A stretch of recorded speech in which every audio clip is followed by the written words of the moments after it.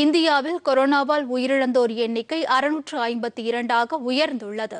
பாதிப்பை பொறுத்தவரை இருபதாயிரத்து நானூற்று எழுபத்தி ஓரு பேர் என்று மத்திய சுகாதாரத்துறை தெரிவித்துள்ளது.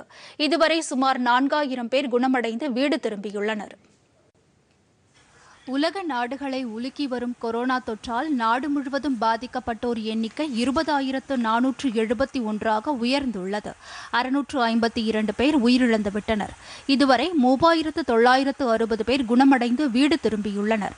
நாட்டிலேயே கொரோனாவால் மிகப்பெரிய பாதிப்பை சந்தித்துள்ள மகாராஷ்டிராவில் ஐந்தாயிரத்து இருநூற்று இருபத்தி ஓரு பேர் பாதிக்கப்பட்டுள்ளனர்.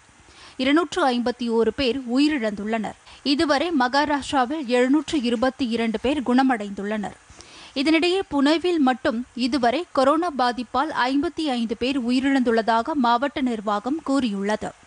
குஜராத்தில் இதுவரை இரண்டாயிரத்து இருநூற்று எழுபத்தி இரண்டு பேர் நோய் தொற்றால் பாதிக்கப்பட்டுள்ளனர். உயிரிழந்தவர்களின் எண்ணிக்கை தொன்னூற்று ஐந்தாக அதிகரித்துள்ளது.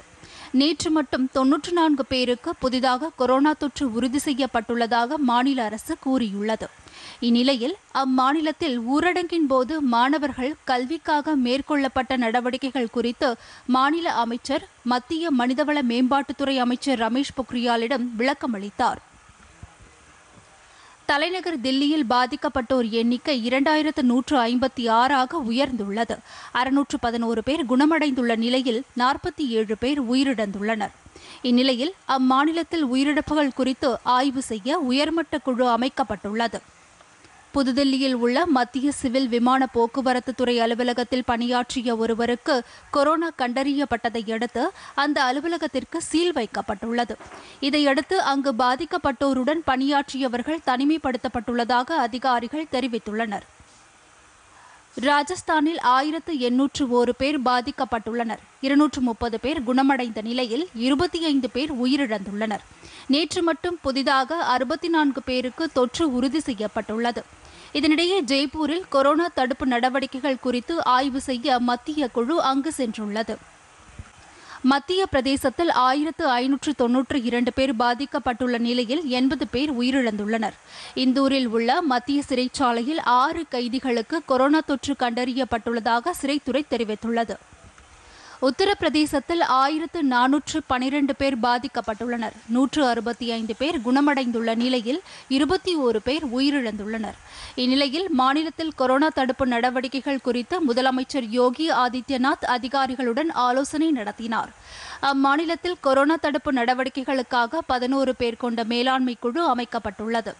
இதனிடையே இடம்பெயர்ந்த தொழிலாளர்கள் தங்கள் சொந்த மாநிலங்களுக்கு திரும்ப மத்திய அரசு நடவடிக்கை எடுக்க வேண்டும் என பகுஜன் சமாஜ் கட்சித் தலைவர் மாயாவதி கேட்டுக் கொண்டுள்ளார்.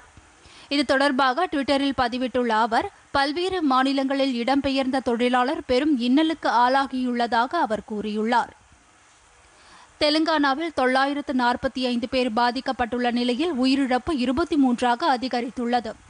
தெலுங்கானாவில் கொரோனா தொற்றால் நிமோனியா பாதிப்புக்குள்ளாகும் நோயாளிகளுக்கு இரத்த தானம் வழங்க செஞ்சிலுவை சங்கத்தினர் முன்வந்துள்ளனர். இதுவரை எண்ணூறு யூனிட் ரத்தம் தானமாக வழங்கப்பட்டுள்ளதாக அந்த சங்கத்தினர் தெரிவித்துள்ளனர். அண்டை மாநிலமான ஆந்திர பிரதேசத்தில் புதிதாக ஐம்பத்தி ஆறு பேருக்கு நேற்று கொரோனா பாதிப்பு கண்டறியப்பட்டுள்ளதை அடுத்து பாதிக்கப்பட்டோரின் எண்ணிக்கை எண்ணூற்று பதிமூன்றாக அதிகரித்துள்ளது. இந்த மாநிலத்தில் இருபத்தி நான்கு பேர் உயிரிழந்துள்ளனர். கர்நாடக மாநிலத்தில் பாதிக்கப்பட்டவர்களின் எண்ணிக்கை நானூற்று இருபத்தி ஐந்தாக அதிகரித்துள்ளது. அங்கு பதினேழு பேர் உயிரிழந்துள்ளனர். நேற்று ஒரே நாளில் ஏழு பேருக்கு புதிதாக தொற்று கண்டறியப்பட்டுள்ளதாக அம்மாநில சுகாதாரத்துறை தெரிவித்துள்ளது. மேற்கு வங்கத்தில் நானூற்று இருபத்தி மூன்று பேர் பாதிக்கப்பட்டு பதினைந்து பேர் உயிரிழந்துள்ளனர். பஞ்சாப் மாநிலத்தில் பதினாறு பேர் உயிரிழந்திருப்பதுடன் இருநூற்று ஐம்பத்தி ஓரு பேருக்கு பாதிப்பு ஏற்பட்டுள்ளது. கேரளாவில் மூன்று பேர் மட்டுமே உயிரிழந்துள்ளனர். அங்கு நானூற்று இருபத்தி ஏழு பேர் பாதிக்கப்பட்டுள்ளனர்.